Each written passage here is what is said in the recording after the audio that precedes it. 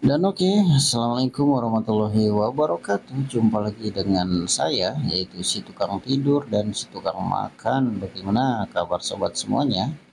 Semoga selalu sehat di mana pun berada ya. Jadi di video kali ini Saya akan sharing lagi Yaitu tentang cara setting laptop ataupun komputer Windows 10 Pro. Standar settingnya itu seperti apa ya?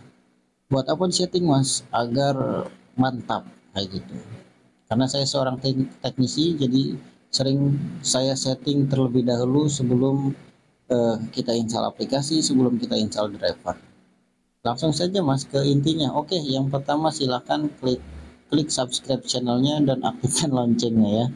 Selanjutnya yang pertama yang akan kita setting yaitu bagian taskbar ini teman-teman kita akan menghilangkan ikon-ikon di taskbar ini. Klik kanan unpin. Karena ikan sudah ada ikon klik kanan unpin. Seperti itu. Ini juga pencariannya bisa diperkecil ya. Nah diperkecil. Terus itu juga bisa dihilangkan ya.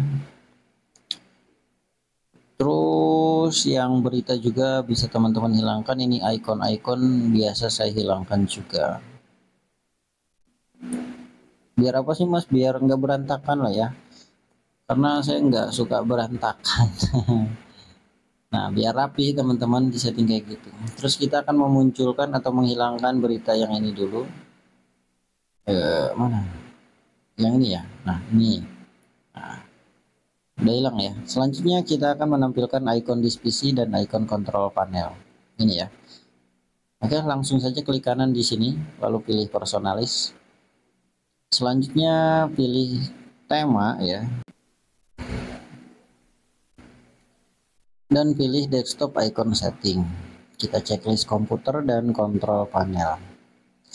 Fungsinya itu banyak ya.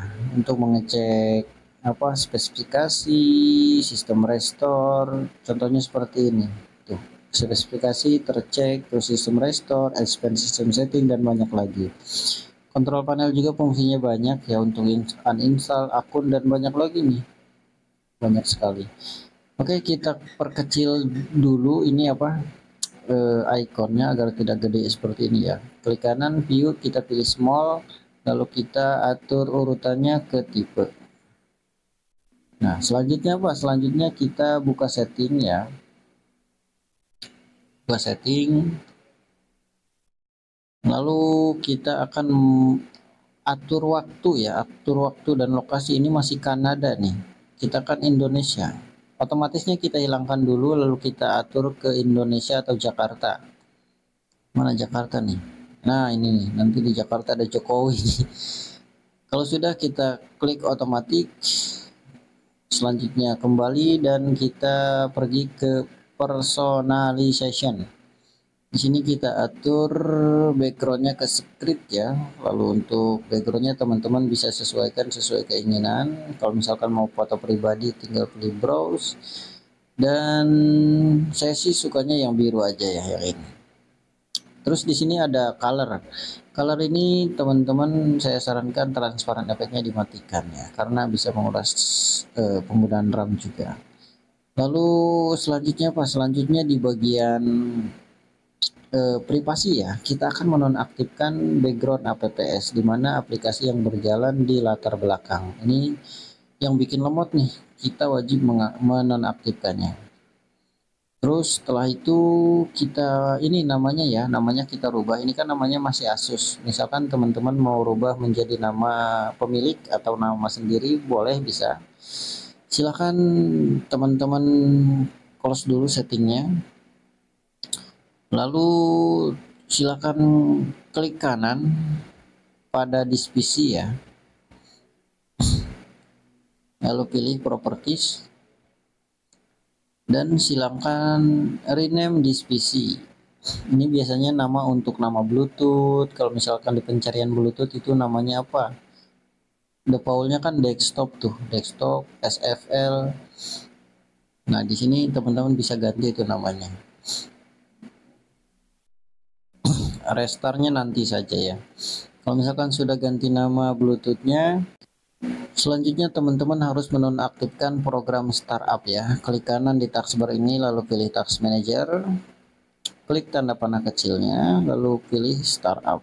Biasanya di sini banyak sekali aplikasi-aplikasi yang masih berstatus enable ya. Jadi wajib di disable agar aplikasi tidak terbuka otomatis ketika laptop baru dihidupkan. Kayak gitu teman-teman dan selanjutnya apa? Selanjutnya klik kanan pada icon disk PC ya. Klik kanan lalu pilih properties. Selanjutnya di sini kita akan mengaktifkan sistem restore. Apa itu sistem restore mas jadi sistem restore itu sistem bawaan Windows yang berfungsi untuk mengembalikan sistem ke sebelum error. Jadi ketika nanti Windows kita error, kita bisa mengembalikannya ke sebelum error asalkan sistem restore-nya hidup. Makanya kita sekarang nih kita hidupkan ya.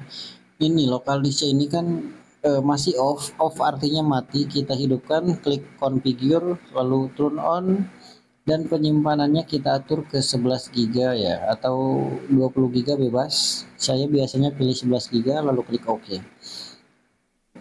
Kalau sudah tinggal diklik OK berarti sistem restorenya sudah hidup ya. Kayak gitu. Itu penting banget. Kalau misalnya nggak dihidupin sayang banget kayak gitu selanjutnya apa? Selanjutnya ini ini kan recent filenya masih ada ya. Biar rapi gimana sih biar nanti filenya tidak berantakan? Klik file lalu change folder dan silakan checklistnya hilangkan. Klik OK nanti dia akan rapi ya seperti ini. Kayak gitu teman-teman. Lalu selanjutnya partisinya ini masih ada satu nih. Biasanya kan ada D gitu ya. Nah kita akan bagi. Langsung saja mas. Gimana baginya? Oke. Tinggal klik kanan di disk ini lalu pilih manage dan silakan pilih disk management. Yang ini ya. Klik disk management. Lalu untuk cara membaginya di C ini silakan klik kanan ya. Ini C ini. C klik kanan pilih string volume.